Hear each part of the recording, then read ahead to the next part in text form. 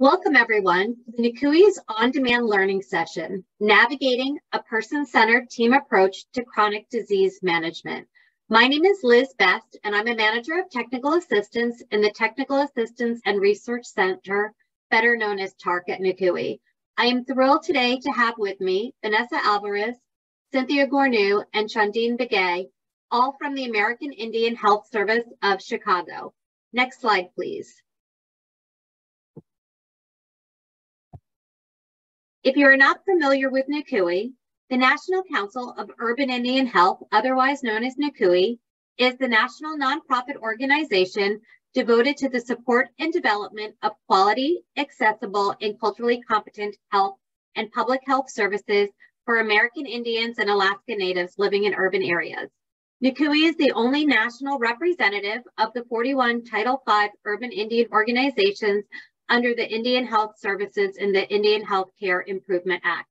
NCUIH strives to improve the health of over 70% of the American Indian Alaska Native population that lives in urban areas supported by quality healthcare centers. Next slide, please. We are so pleased that you could join us today.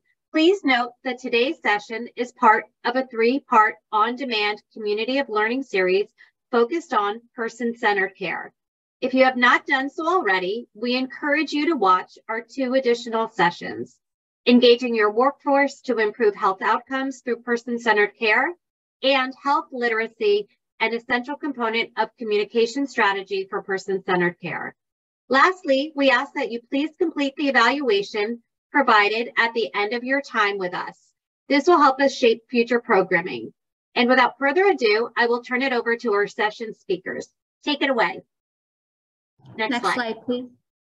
So our main objectives for this web series, or this presentation, I should say, is one, to understand how digital health technologies such as EHR can help improve medical practice management and increase patient health outcomes by increasing practice efficiencies and cost savings.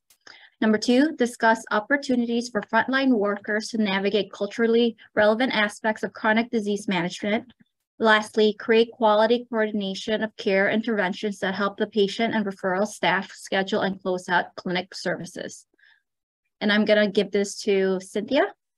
Hi, yes. I'm Cynthia, pharmacy diabetes educator at American Indian Health Service of Chicago, and I just wanted to give a brief overview of our population. Um, we are the only urban Indian organization located within the state of Illinois and currently per the US Census for 2020, there are 180,000 Native American um, alone and in combination with other races located within the state, where 56,000 live within Cook County. And that's where we're located. Um, our Chicagoland urban American Indian Alaska Native community has been damaged by historical and intergenerational trauma the experiences from removal, relocation, and forced assimilation have just in the past two generations resulted in major diet changes, an epidemic of obesity, and a complete reversal in food security with a massive decline in human capital as measured by intergenerational health-related knowledges, skills, and abilities. Uh, a 2000 report by the Urban Indian Health Commission concluded that our population is among the worst of any ethnic minority in the country. Per the Office of Minority Health, the leading diseases and causes of death among our population are heart disease, cancer, unintentional injuries, diabetes, and stroke.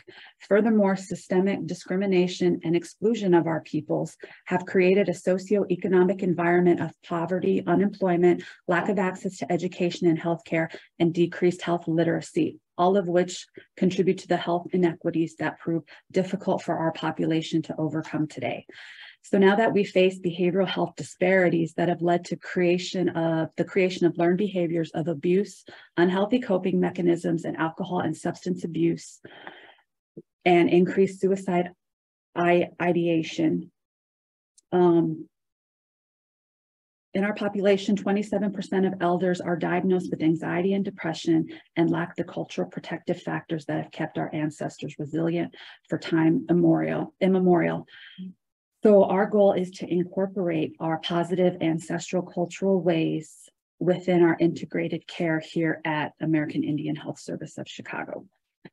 Next slide, please. And so in terms of how electronic health records will assist in the integration of our uh, mission, um, we're going to discuss that further on along, but in general, as the definition, EHR is a electronic record of health related information an individual across more than one healthcare organization.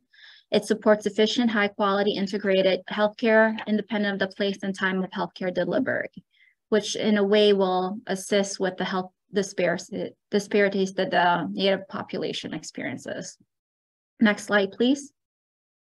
So some of the benefits of electronic health records um, and patient-centered care, it improves better quality of care, communication, and safety between patients, healthcare providers, um, which then ultimately leads to improved health outcomes. Um, it allows for surveillance and monitoring of disease conditions, um, which will then be enhanced. There's a connection of systems and registries, um, allows for integrated health uh, services, as well as patient access to to their own health records, which will then enable them to make informed decisions about their health care and improve data integrity. I just wanted to expand on the improved data. So utilizing the EHR helps in many ways by increasing data collection um, for accurate charting. So CPT codes can capture reimbursements and also decrease insurance denials. So that that also helps but also it improves the collection of aggregated data so we can report, have accurate reports for federal, state, and city grants. Um, and that includes SDPI and GPRA measures. So it also reflects how well we're doing in our practice as far as integrated care.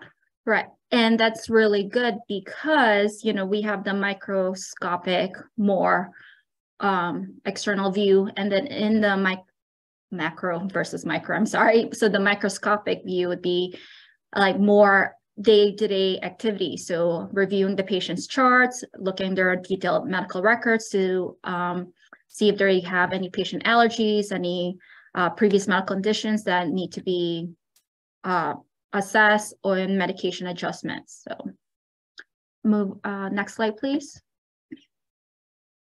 Um, continue uh, continuation of the benefits of EHR. So it impl implements a checking system that alerts a clinician if any order they are entering could cause a problem, has a notification system that immediately alerts clinicians to significant events, and incorporates visual posting systems that alerts healthcare providers to issue um, to issues including crisis notes, adverse reactions, and advanced directives.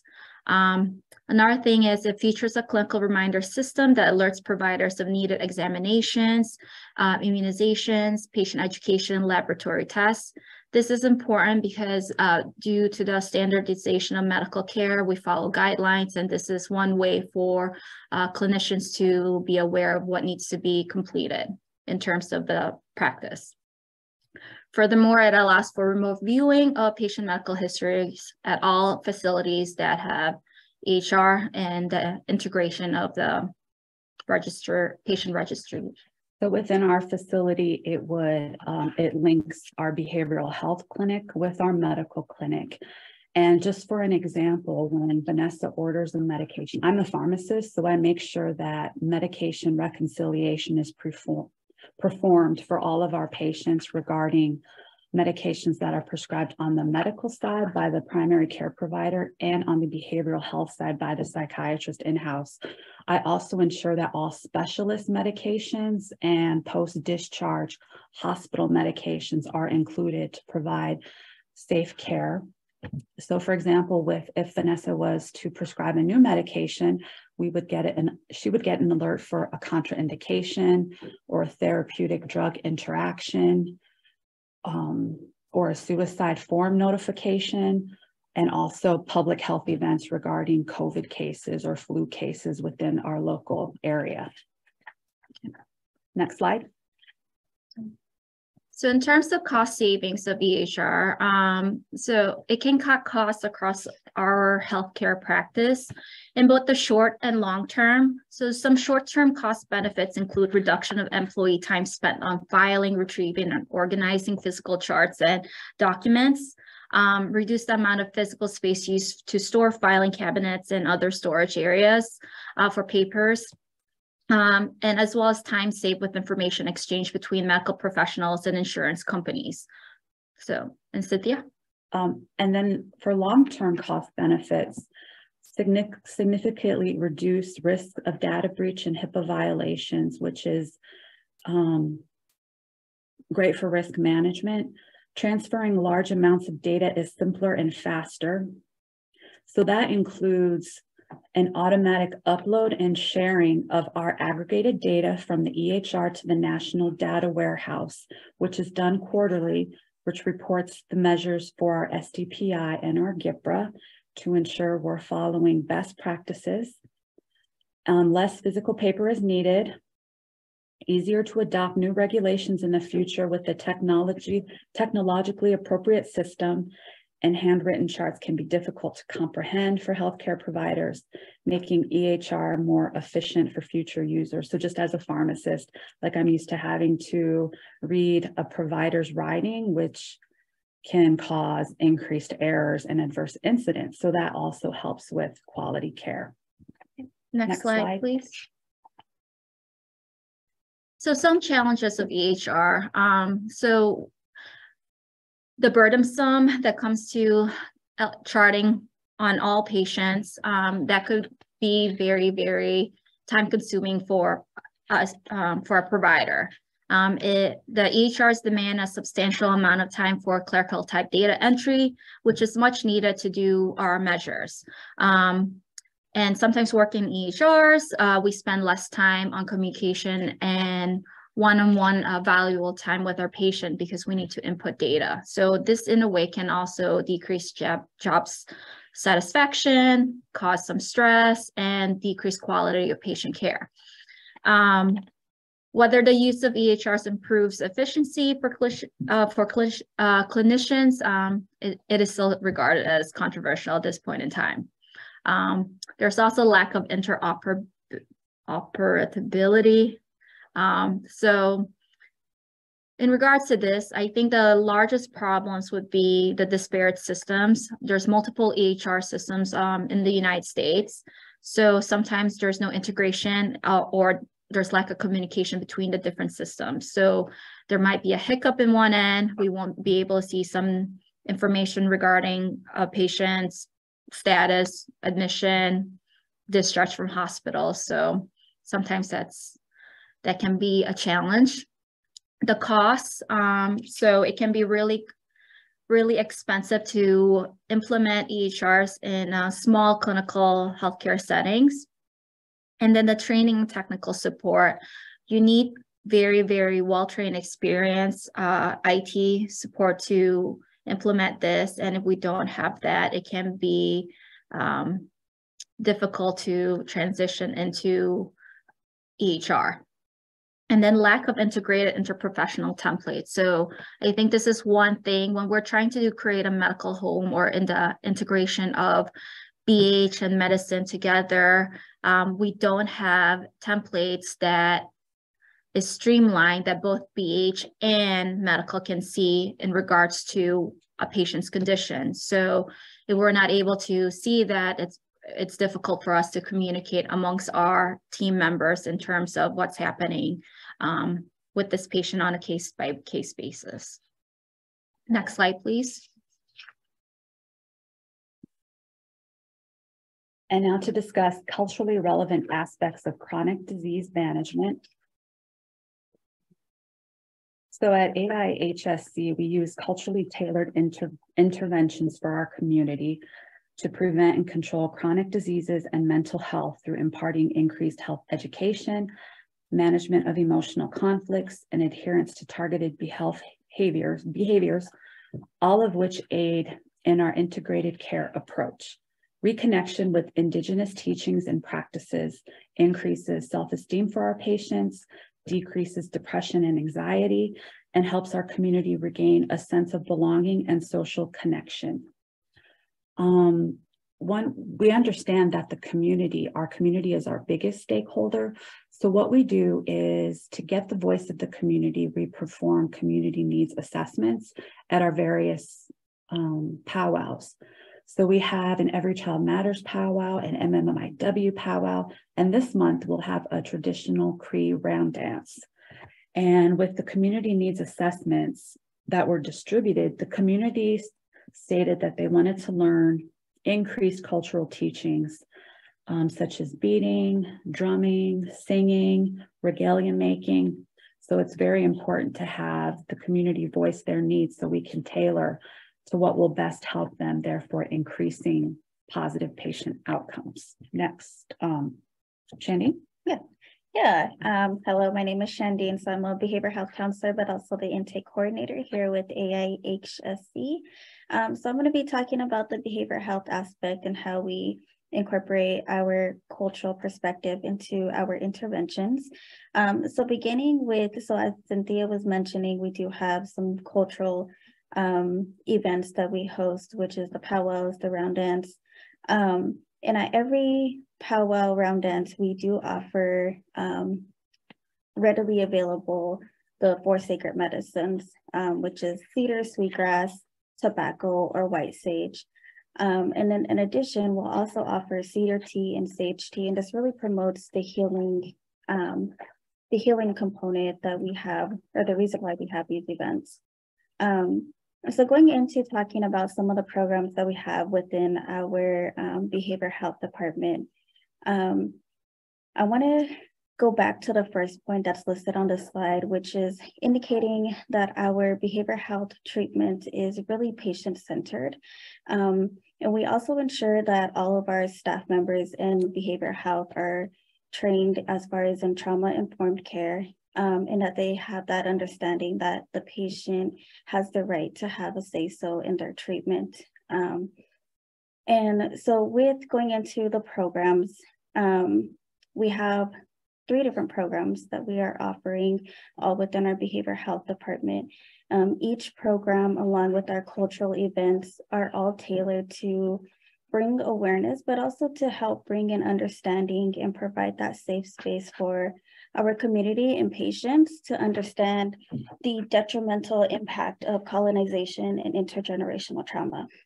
Um, and so in order to do that, um, we also provide the safe space of um, the safe space for our community and our patients to have that time to heal, to connect with each other, um, to learn more about their cultural identity, um, and this also helps with just restoring our kinship values as well. Um, both colonization and intergenerational trauma has really disrupted our community, families, and e even on an individual level. And so bringing in these programs just helps allow the community to understand why um, why there may be a disruption in behaviors as far as among their families. Um, in addition, we'll also teach our community how to honor our elders, um, also the sacredness of children, and acknowledging e each other, um, and then also our environment as our own relatives. So going into the programs, um, the first one is the Seven Sacred Branches. Um, and so the Seven Sacred Branches program really hones in on teaching the principles of character. So this is about love, respect, courage, honesty, wisdom, humility, and truth. And so through these teachings, we offer culture classes. Um, and this could be drum making, sweat lodge teachings, and then also talking about the usage of our medicines and how we utilize that in a ceremonial purpose. Um, and then we'll also bring in discussion about utilizing the eagle feather to empower um, to empower their self-identity. The last two programs, um, we always make sure that we have at least two staff members in our behavior health department who are trained and certified to facilitate these groups. So the first one is our Wellbriety program, which, or yeah, first one is our Wellbriety program, which is gonna utilize a indigenized 12 step program. Um, and it's utilizing a curriculum that's from White Bison.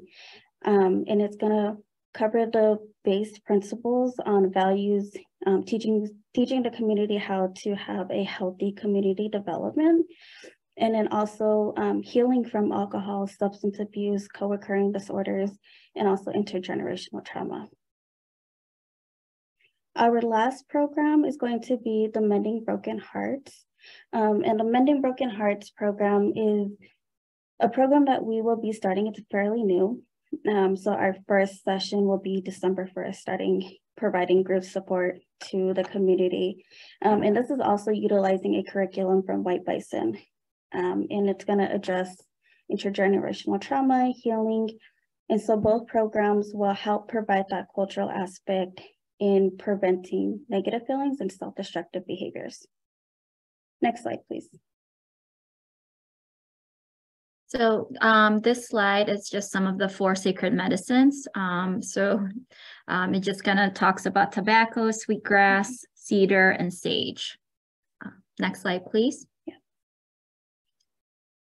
Okay, so this slide um, is a assessment of wellness. And so this is going, it's showing a visual model of how we assess the holistic wellness within our patients um, who are coming in for individual counseling. Um, and so the first one is the medicine wheel.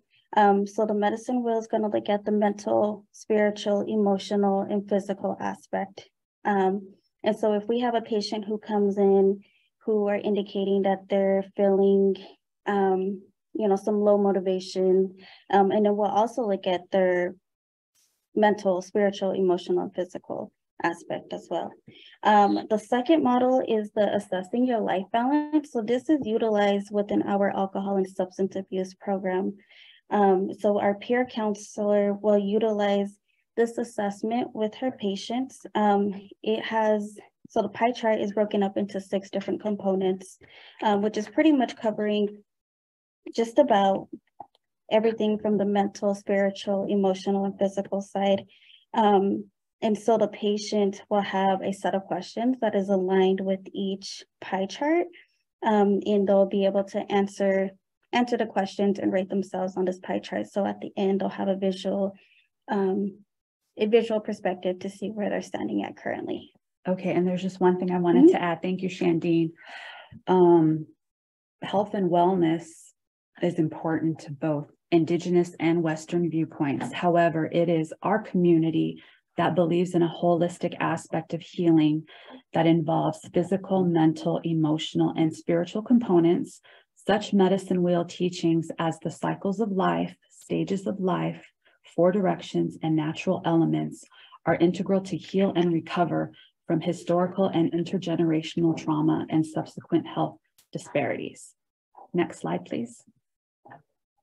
So now to continue on with the culturally relevant aspects and how we incorporate this into our care.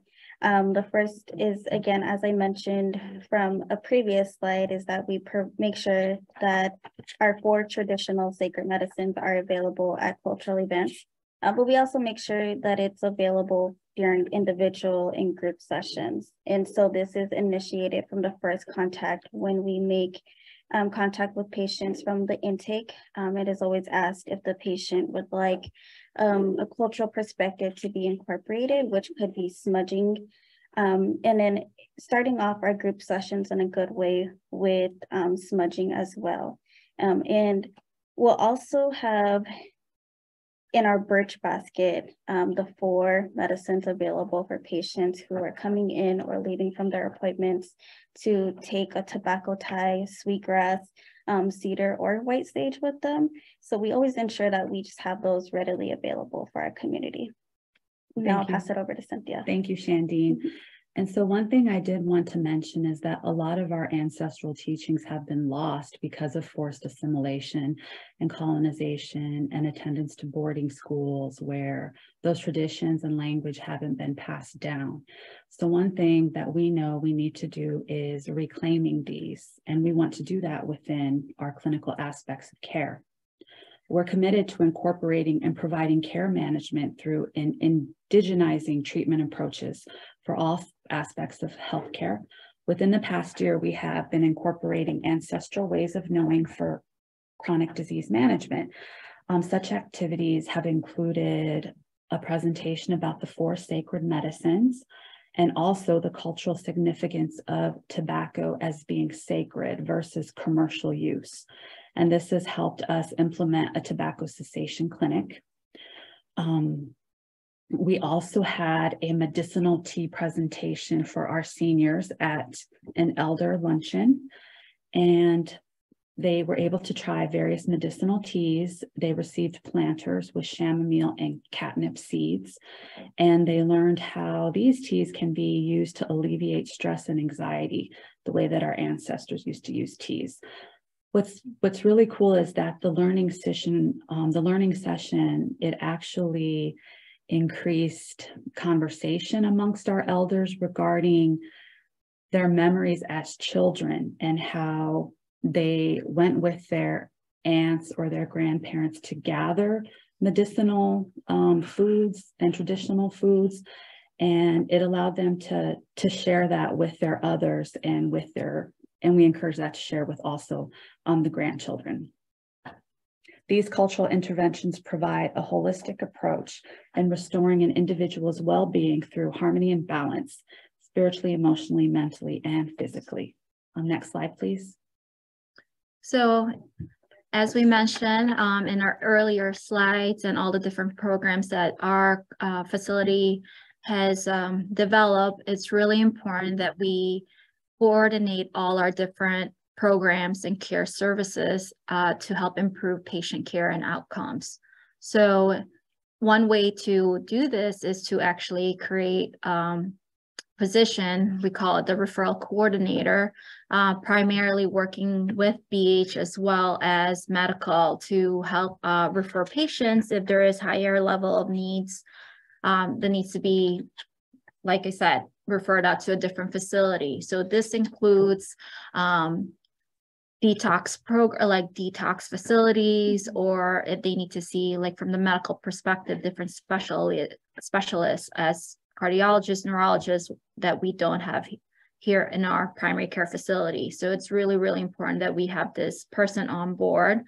Another thing that's important about this um, position is that they, this person um, creates linkage agreements to different facilities. So we have, we're building a referral program in a way where we know that our patients, our native population will be able to get patient-centered care that will also recognize their native heritage and try to coordinate as well with that. Um, Cynthia? Oh, so just furthermore, we've also instituted monthly integrated care meetings where representatives from the clinical side and the behavioral health side, we come together and we talk about high risk patients. Mm -hmm. And so we each have different aspects to share as far as how the patient is doing.